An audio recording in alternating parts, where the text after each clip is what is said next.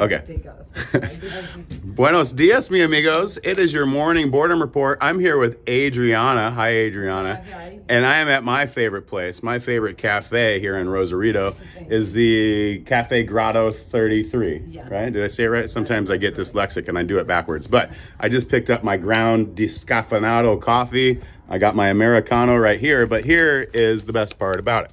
You come outside, and this is one of the best views that you're gonna have for breakfast, for lunch, for dinner. She's open Wednesday through Sunday, 9 a.m. to 9 p.m. Is that right? She told me I'm right there.